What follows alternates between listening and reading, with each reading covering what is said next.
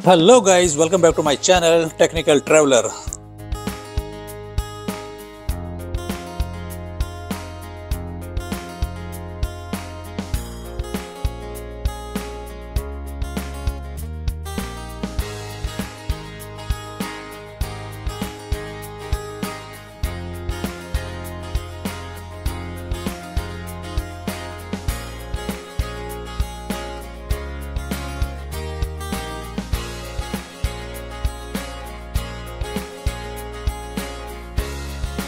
तो आज हम करेंगे अपने D DJI Mini 4 Pro Combo Plus की अनबॉक्सिंग एंड इसकी फ़र्स्ट फ़्लाइट सेटअप तो ये हमारा DJI का ड्रोन है और इस ड्रोन को हमने दुबई से परचेज़ किया था।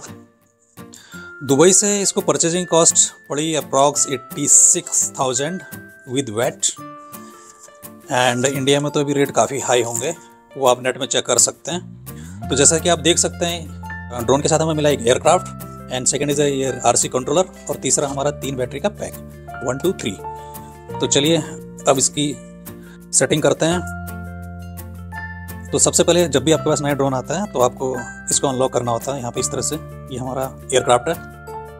एंड इसके आगे की जो कैप है, यहाँ पे, जैसे आप देख सकते हैं कैप कैप को रिमूव करनी होती है। जब आप इन दोनों को रिमूव कर लेते हैं तो आपको एक कैमरा दिख जाता है। एक्चुअली गिम्बल कैमरा है। इसमें आपको सेंसर लगे हुए हैं। One two three four five six तो ये जो सिक्स सेंसर हैं, ये आपको जो भी ऑब्स्टिकल वगैरह आएँगे, उनसे आपको प्रोटेक्ट करता है यहाँ पे। तो इसको हम इसकी जो विंग्स हैं, उसको ओपन कर लेते हैं।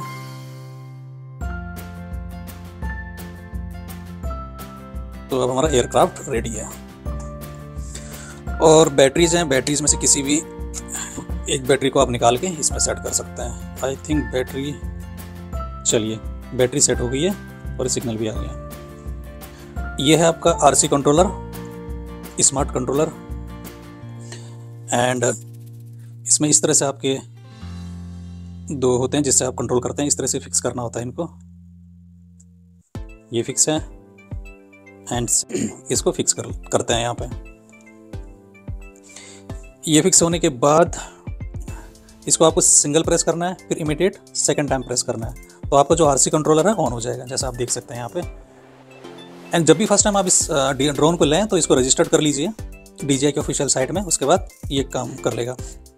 तो जैसा कि देखते हैं यहाँ पे, ये हमारा ड्रोन है। ये हमारा ऑन हो चुका है। और इसके साथ में जो एयरक्राफ्ट है, उसके लिए सिंगल प्रेस फिर अगेन तो ये ये भी ऑन हो तो इसमें जैसे आपने बीप सुनी है, और यहाँ पर लाइट भी जल रही है।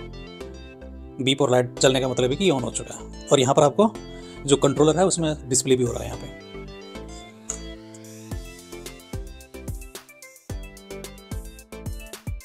तो जैसा कि आप देख सकते हैं, यहाँ पे हमारा, हमने ड्रोन में बैटरीज इंसर्ट कर दी हैं और ड्रोन को स्टार्ट कर दिया।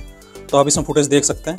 तो इस वाले आर कंट्रोल का बेनिफिट ये है कि इसमें फाइव इंच की स्क्रीन मिलती है तो इसमें आपको अलग से मोबाइल फ़ोन को कनेक्ट करने की ज़रूरत नहीं है। सारा का सारा इसमें देख सकते हैं। बिल्कुल क्रिस्टल क्लियर है। और ये हमारा ड्रोन है। इसमें कैमरे सेट हो रखे हैं, जैसा आप देख सकते हैं। ये गिम्बल कैमरा है। यदि मैं ऊपर नीचे कर रहा हूँ, तब भी ये कैमरा अपने डायरेक्शन बना ले रहा है यहाँ पे। इस तरह से।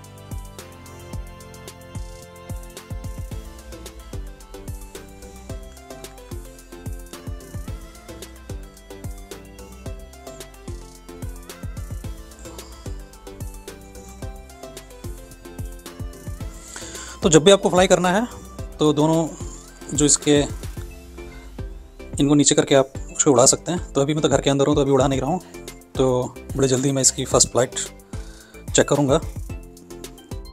तो इस आरसी कंट्रोल की हेल्प से आप डिस्प्ले से भी वर्टिकल इसका जो फॉर्मेट है, वो चेंज कर सकते हैं। जैसे यहाँ पर एक डिस्प्ले बना है, आप देख रहे हैं राइट साइड पे। तो ये तो फोटोग्राफी के लिए था। देन अगेन यदि इसको मैं प्रेस करता हूँ तो इसका मोड चेंज हो गया वर्टिकल मोड में शूट कर सकते हैं। राइट अब ये अपना लॉन्ग फॉर्मेट में शूट कर सकते हैं। तो सारी चीज़ें इस डिस्प्ले से कंट्रोल हो जाती हैं। काफ़ी ब्राइट डिस्प्ले है।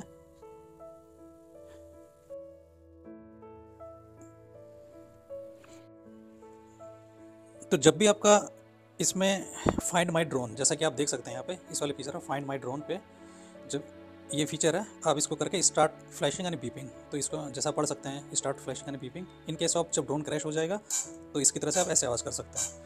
तो यहाँ पर जैसा आप देख सकते हैं, ये बीप भी कर रहा है और इसका बी प्लस फ्लैशिंग कर रहा है। इस वजह से आप ड्रोन को ट्रेस कर सकते हैं। तो इसमें काफ़ी मल्टीपल फीचर हैं, जो आने वाले टाइम में मैं आपको बताऊँगा। इसमें मैक्सिमम एल्टीट्यूड अभी 500 मीटर सेट है। देखते हैं। एंड कंट्रोल के लिए काफ़ी सारे फ़ंक्शन हैं यहाँ पे।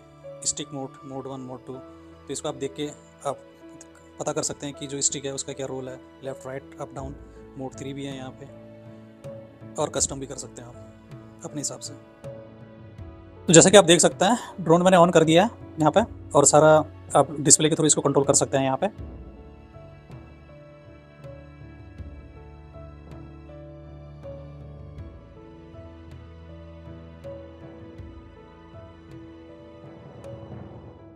तो इसमें एक एरर आ रहा है, उसको हम अभी रिजॉल्व करेंगे। तो आपका जो कंट्रोलर है कोई किसी भी तरह का डिवाइस में, कुछ भी एरर या कोई चीज़ है ना, आपको इन्फॉर्म कर देता है।